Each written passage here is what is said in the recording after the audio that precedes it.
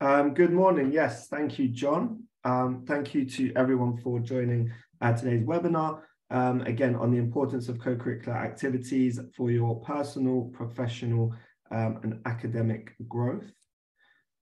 Um, hopefully we can move to our next slide.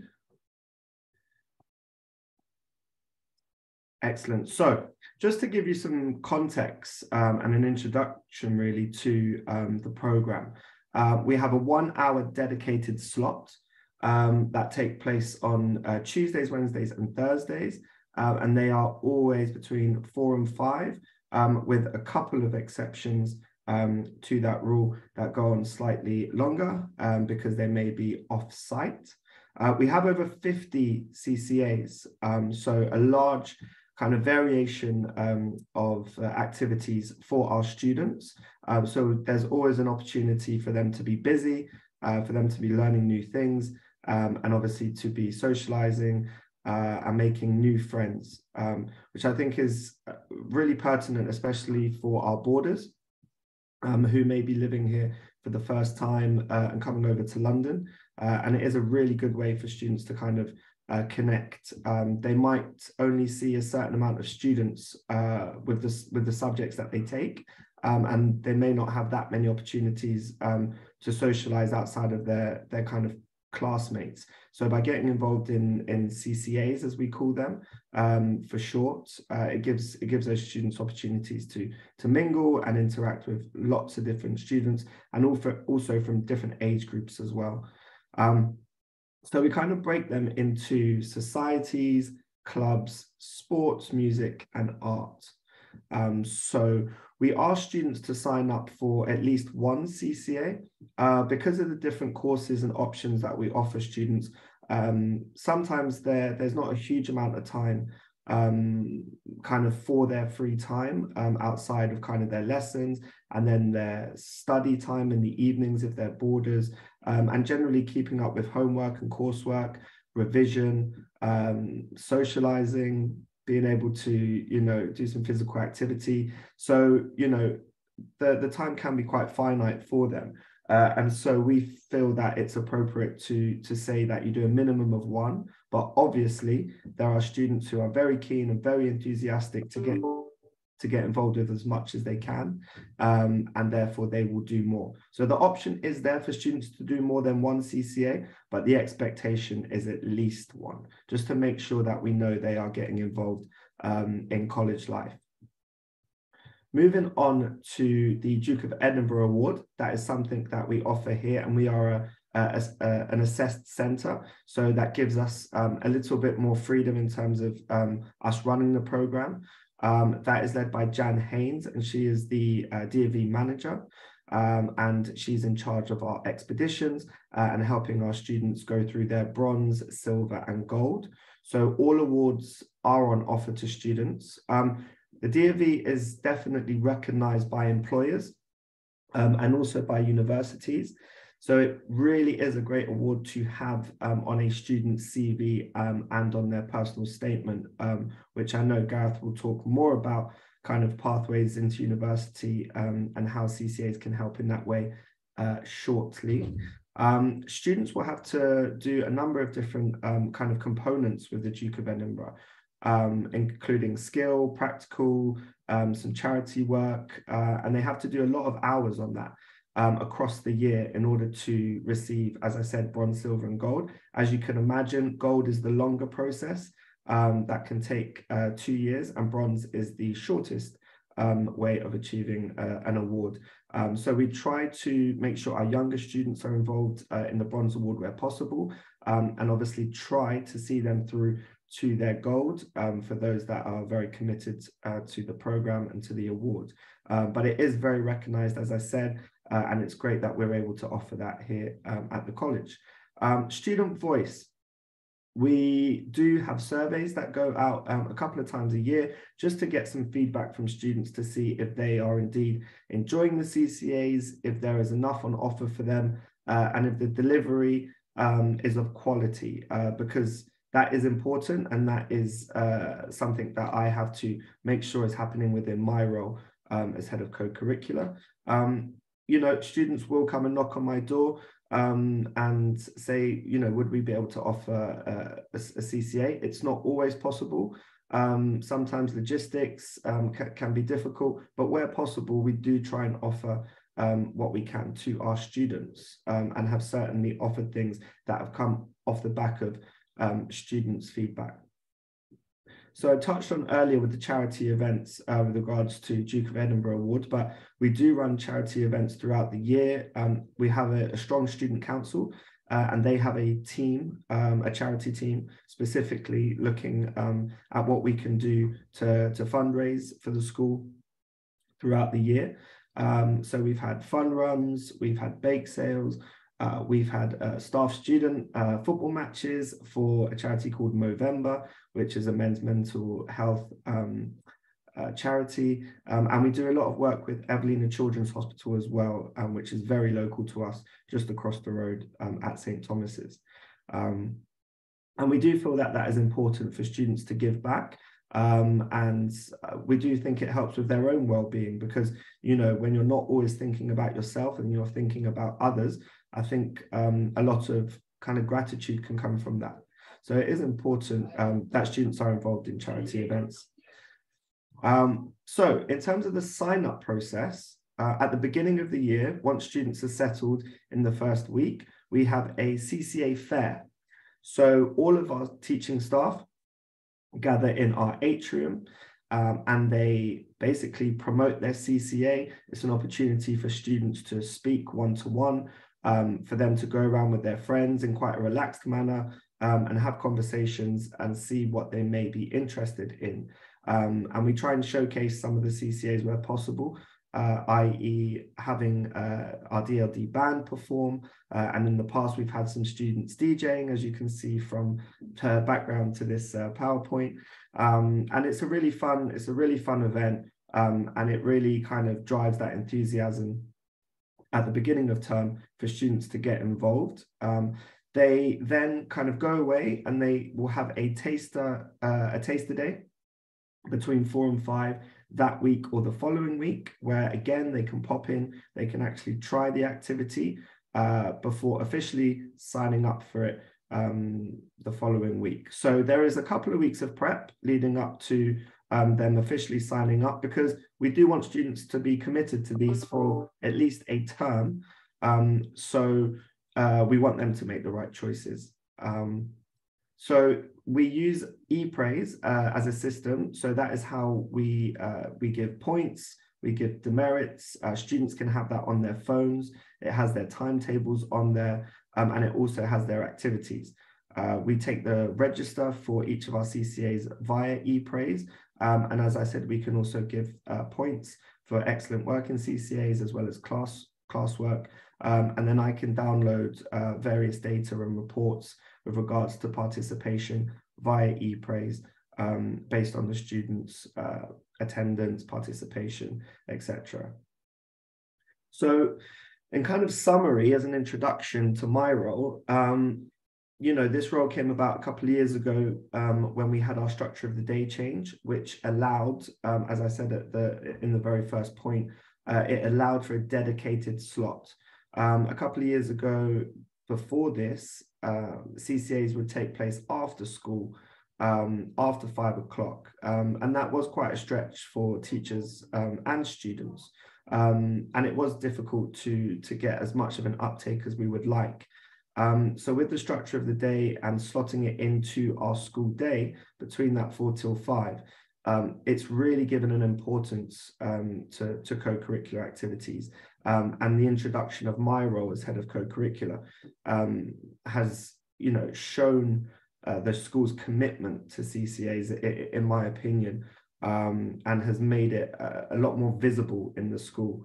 Um, so yeah, really pleased um, with the fact that we were able to have a dedicated slot uh, and to really push the importance of CCAs to our students.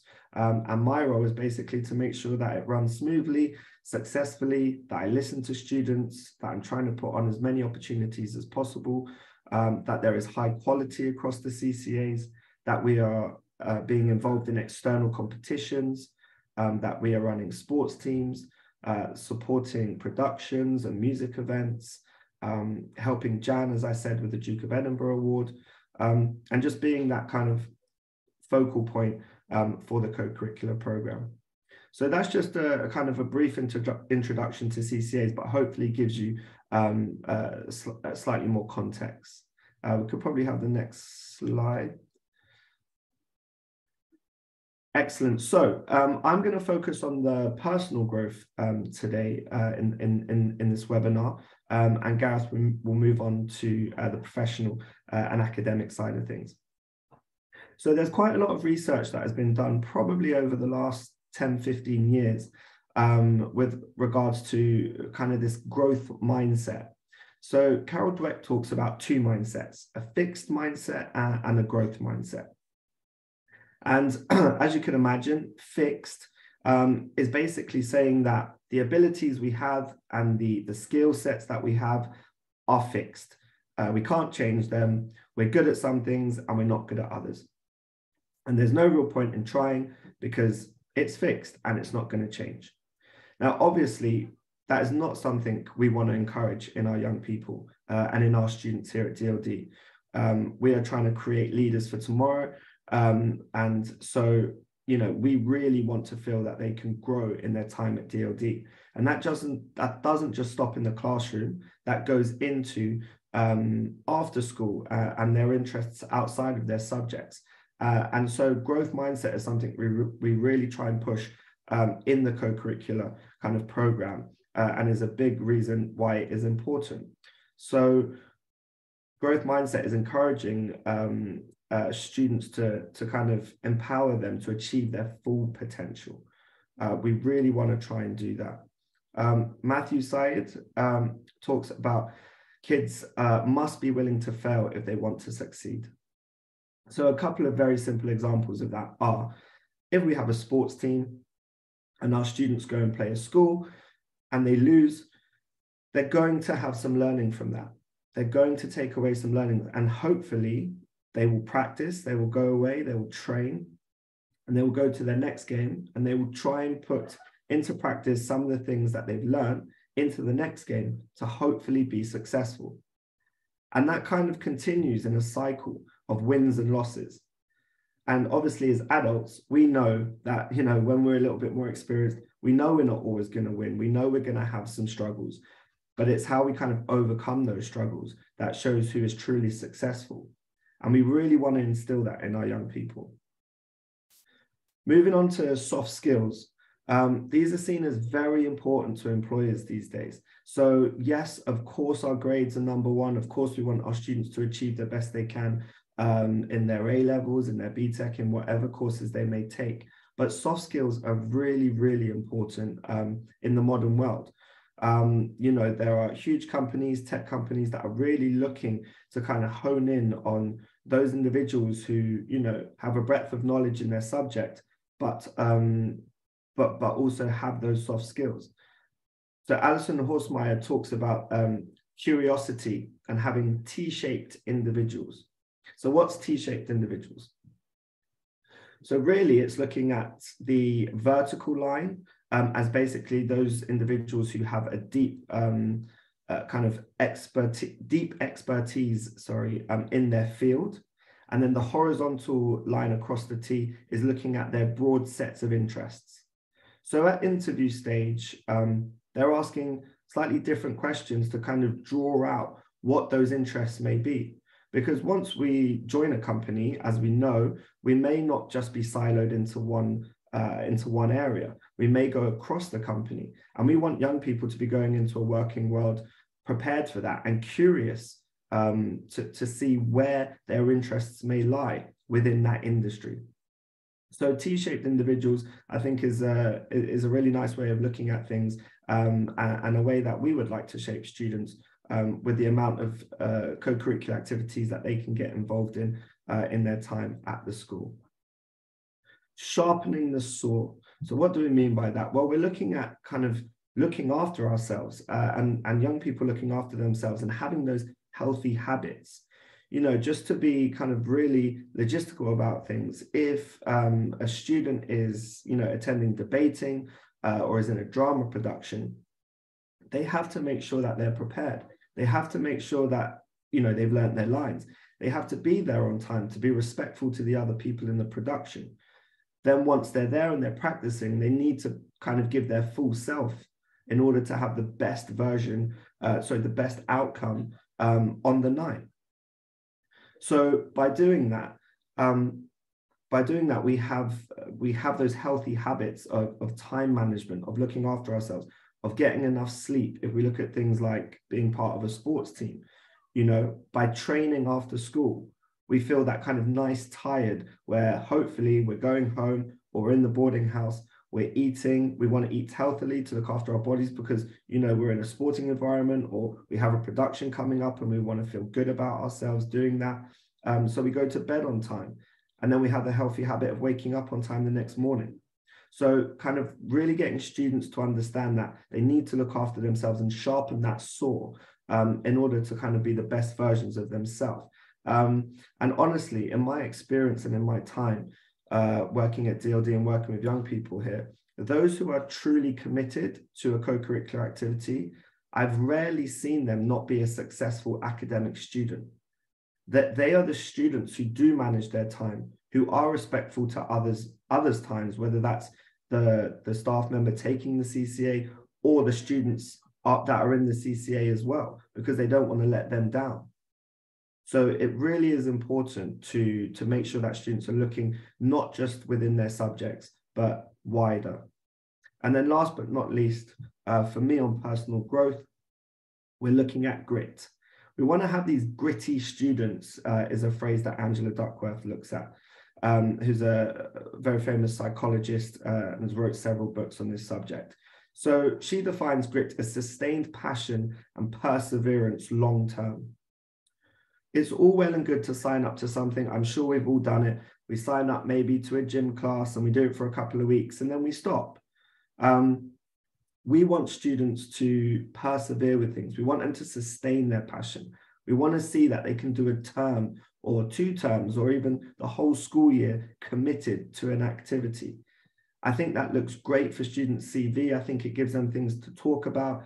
And I think it shows that if someone is willing to to be passionate and, and persevere in something outside of their studies, I'm sure they're going to be likely to do that within their academic studies as well.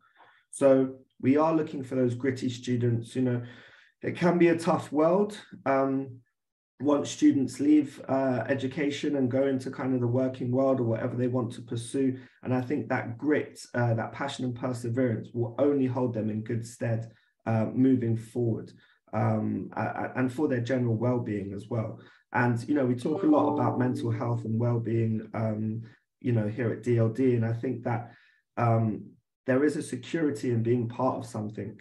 Uh, you know, whatever that may be within the co-curricular program, working with others. Um, and I know that Gareth is going to talk uh, a little bit more on soft skills um, in his uh, in his slides coming up as well. So that is really snappy. That is really uh, kind of a real kind of broad overview and summary.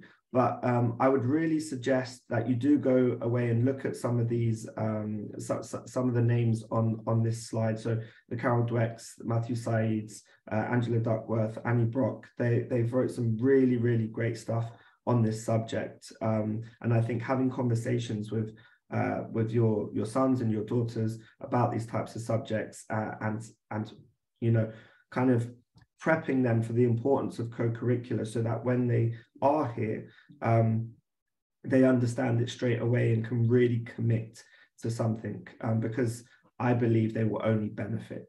Um, so that's it from me. I will now pass you over to uh, Gareth Evans. Thank you very much for your time. And uh, yeah, goodbye. Um, thank you very much, Sean. Um, hello, uh, everyone. My name is uh, Gareth Evans, and I'm an assistant principal at DLD College.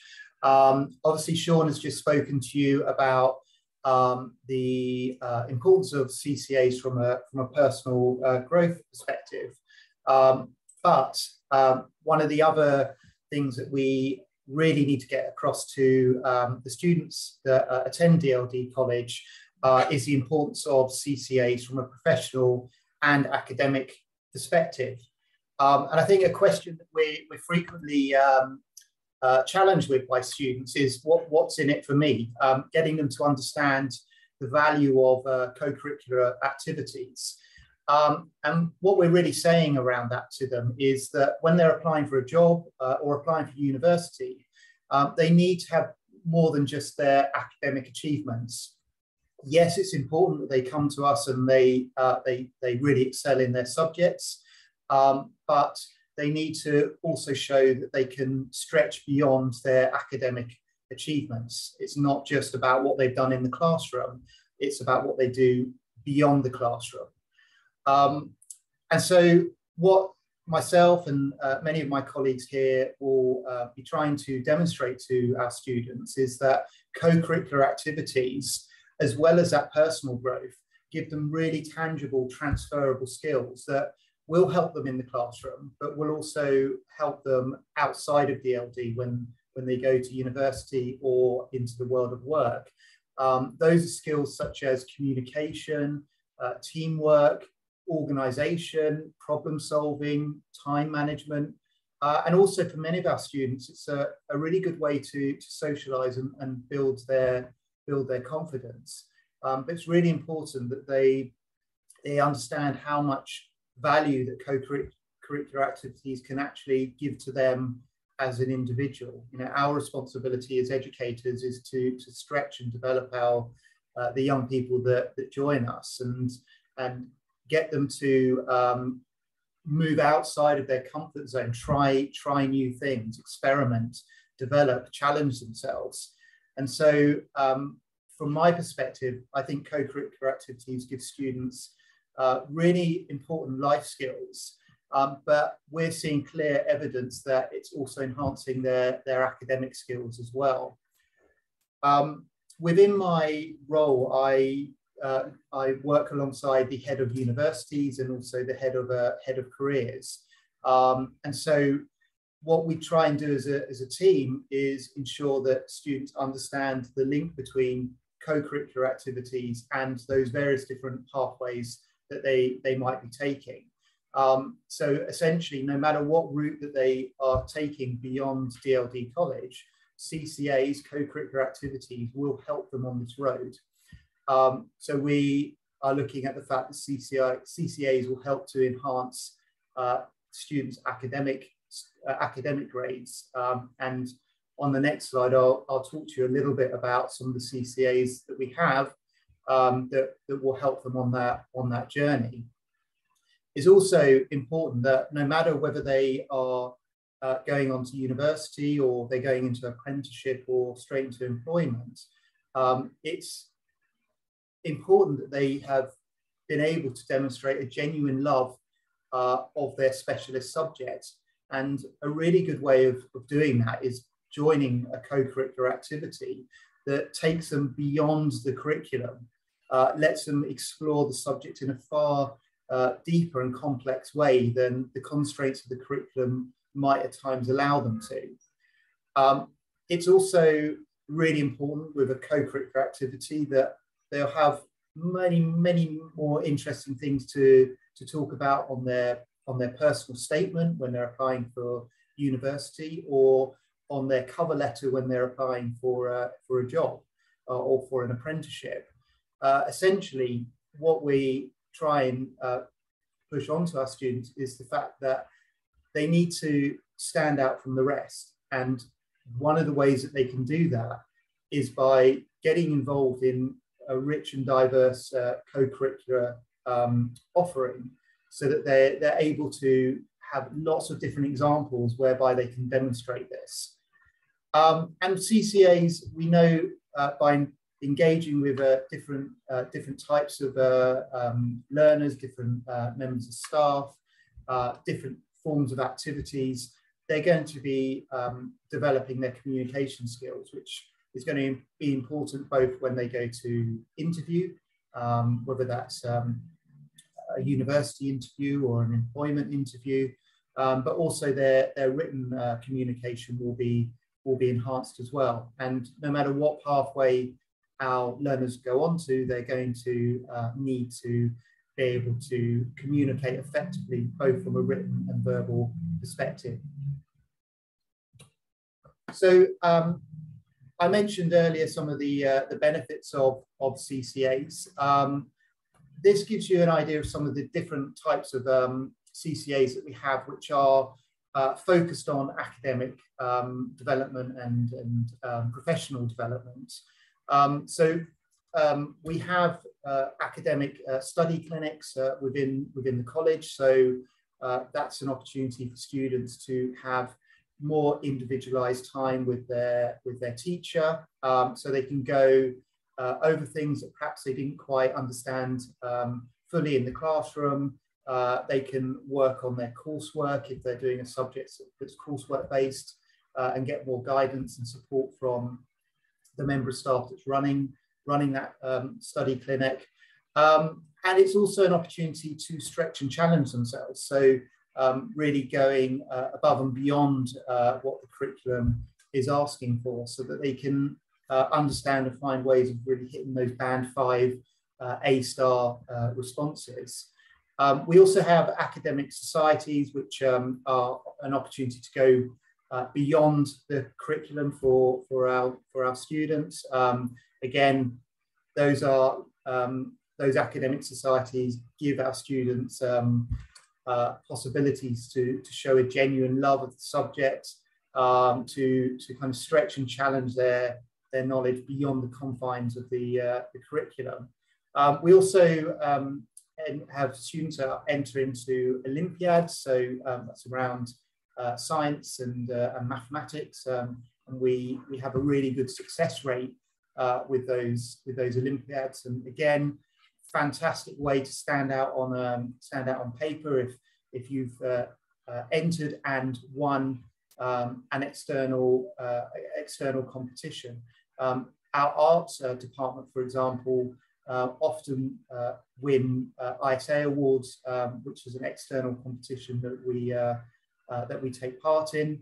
Um, we talked. I talked earlier about the development of verbal communication um, and our debating and public speaking um, uh, CCAs are a really good opportunity to, uh, to allow students to do that. Um, and again, within that, we, um, we enter them into competitions. So we have internal competitions within our house system, um, but also uh, we enter students um, into competitions to compete against other other schools. Um, and you know, again, that's a fantastic way to to really kind of take them outside of their their comfort zone, um, but also give them tangible um, employment experience because um, that that kind of debating and and competition with uh, with uh, uh, other individuals will be will, are really important skills that, um, that they that they will require. Um, and we also uh, try and get our students involved in uh, work experience opportunities. So uh, we've got um, a young reporters CCA, so they're, they're actually working um, on a, um, with, with an external organisation um, and getting uh, experience of being uh, being a journalist and, and writing and publishing um, work. I wanted to just um, kind of finish on touching on what additional support we have beyond uh, co-curricular activities, because I think co-curricular activities is, is one uh, aspect of support that we, that we have. Um, but our role uh, as educators is helping our students understand uh, the importance of CCAs on those um, different areas, personal growth, uh, professional and academic um, uh, growth. Um, so we have a number of um, key um, staff members within, within the school that will uh, work with our students, help them to understand um, the types of co-curricular activities they should be doing, rationalizing with them why uh, those will be the most effective to help them get to uh, the next stage of their life beyond DLD. Um, so um, one of the one of the most important functions, I think, is the, um, the house system that we have. Um, and I'm showing no favoritism to Metropolitan Sean by choosing uh, choosing the Metropolitan emblem, but um, uh, the the house system is um, or the, the house master is someone that will meet with uh, with the students in their within their house as will the, the tutor. Uh, they're the ones that really get to know uh, the students, understand what their, their aspirations and dreams are, um, and they can help kind of uh, plug those students within their, within their house uh, into the right uh, types of co-curricular activities.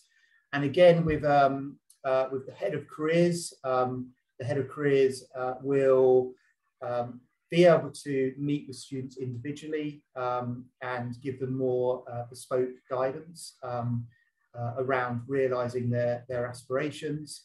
Um, but they also, uh, they also organize other events such as a, a careers week. Um, they've uh, organized for uh, different uh, apprenticeship schemes to come in and speak to the, speak to the students. Um, they can organize mock interviews. and again, uh, head of university admissions is someone that uh, will work uh, alongside their team uh, with the students on a one-to-one basis, uh, working them through their, their UCAS application. Um, and again, we'll be there to offer guidance in terms of how they can really stand out on, on paper. Um, so that brings me to the end of my section. Um, so we're going to open the floor up to questions to both Sean and I. Thank you, Gareth, and uh, thank you very much, Sean. Um, I think obviously some of the pre-registration uh, questions that we had, you guys covered them really well. Uh, but if anyone does have any further questions, we have um, Gareth and Sean here for a few minutes, so please do post them in the chat or the Q and A. Um, one of the questions I think that, that sort of came up um, during the presentation, um, and I think it's probably for, for Sean first off, is you talked a little bit about, say, football, for example, but obviously we have an amazing location right in the centre of London, but but how do you manage getting students to these to these venues and facilities? How does it work being located right in the centre of, of, of a big city? Yeah, very good question. Um, so we it works two ways. In some ways, um, space is, is, tricky is tricky to find um, in, the central location, but at the same time, um, you know, we are very close to things. Um, so it kind of works both ways. We are no further than a 10 minute minibus uh, ride from any of our external locations. Um, we are a two minute walk from uh, a local park, Archbishop's Park, which has um, fantastic floodlit uh, AstroTurf uh, nine-a-side football pitch, which we use uh, every Monday. We have um, in, in the same location uh, netball court. Um, there are some tennis courts there as well that sometimes we use in the summer, um, kind of weather dependent, obviously in the UK. Um, uh, we have uh, some sports centres, uh, some brand new sports centres that are only a couple of years old. Uh, we've used South Bank University's uh, sports centre uh, in the past. Um, so yeah, we do tend to to get a minibus, and they are short journeys, but it does make it more convenient uh, for students um, and for staff to, to get students there um, around the timings. So yeah, over over the years, we've been able to build a program where we've tried to get our facilities um, that we use externally as close as possible because um, we don't want uh, you know students' time eaten up with travel travel basically. Um, as I mentioned, they have busy schedules as it is. Um, so we try and keep it as convenient um, as possible. Would we like more facilities and more space? Of course we would, but I think that's the, the kind of payoff between uh, maybe being at a boarding school in the countryside um, and being at a fantastic central location uh, like we are in Westminster. Thanks, Sean. That's that's really useful actually, and, and obviously, you know, we talk about being London being your classroom, but also London is your kind of CCA kind of venue as well, which is great to hear. Um, one one of the questions we had sort of beforehand was just asking about if a student has a particular passion, and obviously we've got lots and lots of clubs, and that's developing all the time. Um, say for a particular sport that we don't currently offer, um, would we be able to help sort of facilitate them continuing that passion maybe outside of the school? How how how would you how would you kind of approach that sort of situation? Yeah, so it's definitely kind of under uh, my remit uh, in my role to to try and help facilitate students who maybe um, have a passion or an interest in a sport that uh, logistically is just very difficult for us to do kind of on site, i.e., something like horse riding. Um, we, uh, you know, we have uh, facilities that we know about um, that aren't, you know, too far away. Um, but it really does depend on the student uh, and and how willing they are to kind of commit to something where they may have to be on an overground uh, train for 30 minutes to get to, to somewhere a little bit further afield to, to enjoy that horse riding lesson. Um, we're happy to speak to clubs um, and kind of be that person in between uh, the, the student or the parents and the club. Um, but I would I would encourage students to do that Google search themselves before they come here to look at clubs in the area to, to do their own kind of research. The internet is a fantastic tool um, to be able to, to kind of help us find things quite easily. And I would encourage students to do that because I think for me, it shows the genuine interest they have uh, for it if they're doing their own kind of research. But I understand, especially if maybe English is a second language, um, that maybe that communication between a club uh, and a student or parents uh, may be tricky, uh, and we and I am happy to facilitate that um, kind of as and when needed. Thank you, Sean. And I think I think the other thing to say as well is if you are making an application to study with us and you have a particular passion, do tell us about it. Um, if we know in advance, we can obviously support that journey and help you um, to sort of find something that, that hopefully fits and, and you can continue that passion, providing obviously it doesn't affect your academics, uh, which is obviously the you know a, a big priority. Um, I think I've got one for for Gareth now. Just on the academic side of things, we had a question about if a student maybe wants to go towards, say, something like medicine or, or law, um, how would we structure the kind of the CCA journey to kind of assist them with that sort of a specific and, and I suppose generally, you know, for your university? Um, yeah, so obviously um, a student that would like to, to study uh, medicine, we have a uh, MedSoc um, CCA, so Med- Medical Society, and that's um, uh, really structured um, uh, around the um, kind of plugging plugging the skills uh, that they might not be acquiring um, within the curriculum content, um, but also helping them to understand um, the application process um, and and what what other um, what other things that they might need to bolster their their uh, application. So um, one of the uh, one of the things that on, on a medical application uh, or one of the skills that they really need is that they can work with um, different types of different types of um, people. Um, so we can organise for them to do work experience with um, a local children's charity that deals with children with severe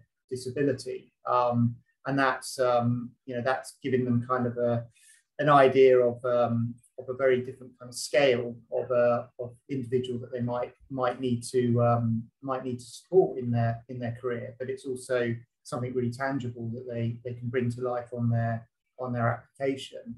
Um, I think uh, you know around around law, um, our academic societies will be really important um, uh, for students to attend, and it will it will obviously depend on the type of law that they're they're hoping to to move into. So we would um, probably at house level actually be having those those discussions to to get a, a clearer picture and even at interview stage these are uh, discussions that, that come up so that we can start to pre-plan before the student joins us um, I also think things like debating and, and law, uh, sorry, debating and um, uh, uh um, and public speaking are definitely uh, vital skills or CCAs that the students can uh, should be getting involved with.